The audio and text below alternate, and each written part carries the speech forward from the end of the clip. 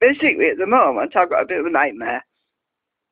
I put too much um, steel on the outside. I need more iron on the inside and less on the outside because that was causing me a lot of problems with breaking. So I'm using acetone um, to melt the super glue and it's taking me a while. This stuff is pretty strong but um, I'm trying to um, yeah I'm not having much luck at the moment. I'm using a screwdriver and I'm trying to wedge these little bars off that I glued on. This should come loose in a bit. God, what a nightmare. I, I've got to be careful because I don't want to break my bobbins inside because they're also susceptible to acetone. I've got these felt these felt um, caps which give me a bit of protection there. Well, I'll put these on then, these stop magnets crashing into it, but um, it's actually helping in other ways.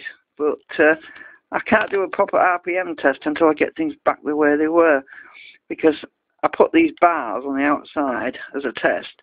Then what I did was I superglued some rings on the end and I superglued a ball bearing on the end to try it.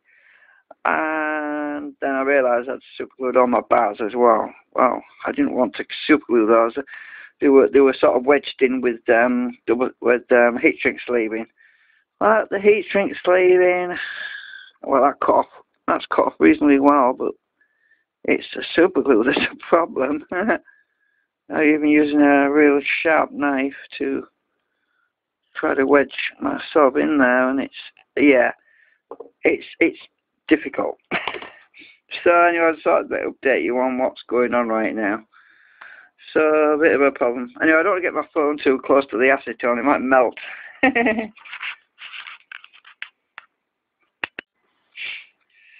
Now here's something you might need to know about my device. Uh, let's just get this light a bit better. Right.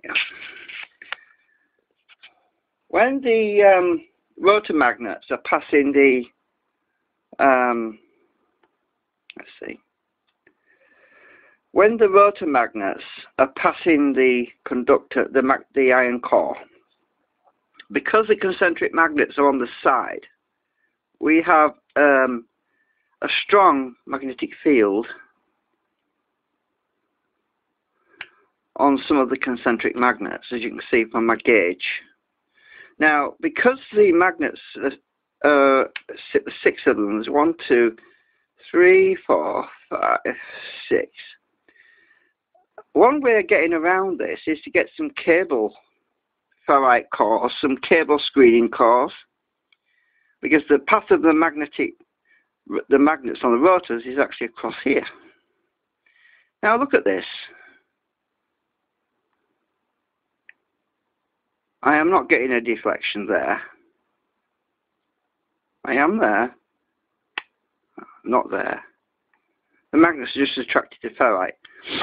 This is equivalent to a magnetic screening because the way these cable conductors operate is that the magnetic field is diverted around the, the it's a bit like a, a ferrite ring. It's deflected and it comes out in a different angle over here somewhere. I'm not exactly sure where, but anyway, the point is because it's flat, it gives me screening same on this side. I'm not getting any deflection. Only it's, it's actually attracting. Look, it's sticking like a normal piece of metal would do. But there's a magnet directly behind there, as you can see.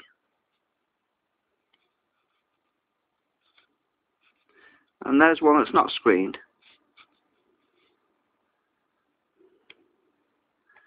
That was actually north. I think that was a north pole on, on the edge there. That one's the south. That one's the north as well, actually. But anyway, um, yeah, that's north, that's south, that's south. Yeah, but we'll get screening anyway. We we have a quiver of screening here because the amount the amount of magnetic attraction here is very weak compared to what it would be like there. That's very very strong there. That's a, that's an actual north on that edge, right on that edge there. Because I've got the configure, but it's south on this on the back. so what we gain as you can see, that's north on the back, and that would be south on the back, but it's been screened. So you can actually uh, have your rotors passing with little resistance because of the these. Worth you, worth you knowing about that. I mean, some people might use just an ordinary piece of steel, but then it doesn't give you a very good screening. But these cable, these cable, um, these cable conductors, um, suppressors, inductance suppressors, um, are ideal actually. I just stick them on my ferrite ring. I mean, ferrite ring was supposed to give me some kind of a bit of screening. It does actually help because I've done some tests with my gauge on the other side, and it does actually give me a bit of deflection on on there when as worse as when there isn't any. But um, so anyway, enough waffle.